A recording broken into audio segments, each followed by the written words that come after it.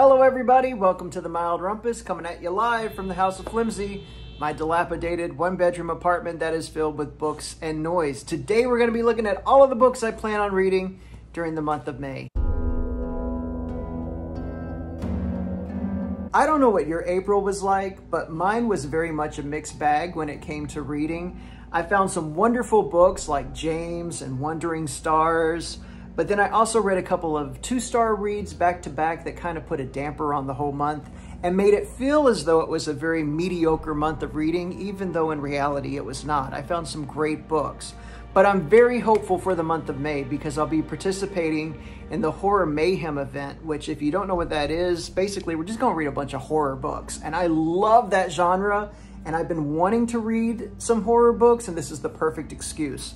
So I feel like May is when I'm gonna find my mojo again.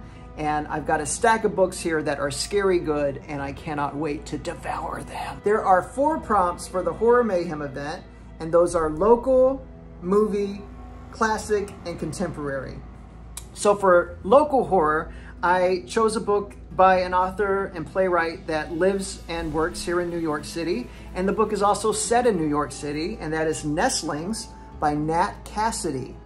Now, Nat Cassidy wrote a book a couple of years ago called Mary, a, An Awakening of Terror. And I really did enjoy that book. So I've been looking forward to reading this one. And Horror Mayhem gave me the perfect excuse.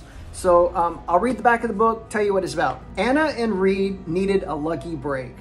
The horrifically complicated birth of their first child has left Anna paralyzed bitter and struggling with mobility, with her relationship with Reed, and with resentment for her baby. That's about to change with the words any New Yorker would love to hear, affordable housing lottery. They've won an apartment in the Deptford, one of Manhattan's most revered buildings with beautiful vistas of Central Park and stunning architecture. Reed dismisses disturbing events and Anna's deep unease and paranoia as the price of living in New York. People are odd, but he can't explain the needle-like bite marks on the baby. Speaking of needles, the film adaptation of this next book scared the bejesus out of me. The thing is, I didn't even know it was based on a book until just a few weeks ago. And that movie and the book is Audition. In this gloriously over-the-top tale, a widower who has lived alone with his son since his wife died seven years ago decides that it is time to remarry. Since he's a bit rusty when it comes to dating, a filmmaker friend proposes that he stage an audition for a movie he never intends to produce in order to cast the perfect woman as his bride. Only one of the applicants catches his attention, a striking young ballerina with a mysterious past. Blinded by his infatuation, he discovers too late that she is a far cry from the innocent young woman he imagined her to be. For the classic horror prompt, I decided to go with Frankenstein, but I found this really cool edition put out by Vintage that has two different versions of the novel. The first one is the earliest known draft by Mary Shelley and only Mary Shelley. Working from the earliest surviving draft of Frankenstein, Charles E. Robinson presents two versions of the classic novel, as Mary Shelley originally wrote it and a subsequent version clearly indicating Percy Shelley's amendments and contributions. Now you might be asking yourself, who is Percy Shelley? Well, it says down here in the bottom, at 16, Mary Shelley began a romance with the great English poet Percy Shelley, marrying him in 1816, and after his untimely death in 1822, devoted herself to editing and promoting his works. Did you know that? I didn't. For the first time, we can hear Mary's sole voice, which is much more colloquial, fast-paced, and sounds more modern than what readers have known up until now. We can also see for the first time the extent of Percy Shelley's contribution, some 5,000 words out of 72,000, and his stylistic and thematic changes. His occasionally florid prose is in marked contrast to the directness of Mary's writing. Interesting, too, are Percy's suggestions to humanize the monster, thus shaping the major themes of the novel as we read it today. With these two new versions of Frankenstein, we are allowed an exciting new perspective on one of literature's greatest works.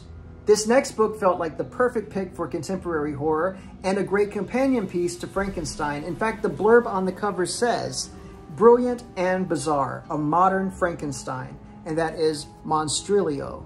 After her son dies, a mother carves out a small piece of his lung to save for herself. Acting on fierce maternal instinct and the dubious logic of an old folk tale, she nurtures the lung until it gains sentience, growing into the carnivorous little monstrilio she keeps hidden within the walls of her decaying childhood home in Mexico City. But despite her best efforts to turn the monster she created into a man, Monstrilio's innate impulses threaten to destroy his fragile second chance at life. And wouldn't you know it, the public library came through yet again with another contemporary book I've been wanting to read, Diavola. Anna has only two rules for the Pace family destination vacations. Tread lightly and survive. It isn't easy when she's the only one in the family who doesn't quite seem to fit in. Her twin brother Benny goes with the flow so much he's practically dissolved, and her older sister Nicole is so used to everyone falling in line that Anna often ends up in trouble for simply asking a question. Mom seizes every opportunity to question her life choices, and Dad, when not reminding everyone who paid for this vacation, just wants some peace and quiet. The gorgeous remote villa in Italy seems like a perfect place to endure so much family togetherness until things start going off the rails. The strange noises at night, the unsettling warnings from the local villagers, and the dark, violent past of the villa itself. Jennifer Thorne skewers all too familiar family dynamics in this sly, wickedly funny vacation gothic. Beautifully unhinged and deeply satisfying, Diavola is a sharp twist on the classic haunted house story exploring loneliness, belonging, and the seemingly inescapable bonds of family mythology. Hmm. So that's everything that I have on my Horror Mayhem TBR. However, these are not the only books that I plan on reading. I do have another stack here that I'm calling my Maybe This Time TBR pile. These are the books that have slipped through the cracks on previous months. Books that I would still like to get to, like Martyr, Twice Lost, A Passage to India, and Travels with My Aunt. I would love to get to at least one of these this month. It might happen, it might not. My main priority is reading as many scary and disturbing books as possible. I'm probably gonna need therapy by the time this month is over, um, but hopefully you won't. And you know, let me know what you're reading. Put it down there in the comments. And while you're down there, feed that algorithm, hit that like button, subscribe if you haven't already, and if you have, tell a friend. Uh, what, what, what is there left to say? As always, I wish you all the best don't get too scared out there. And um, until I see you, happy reading.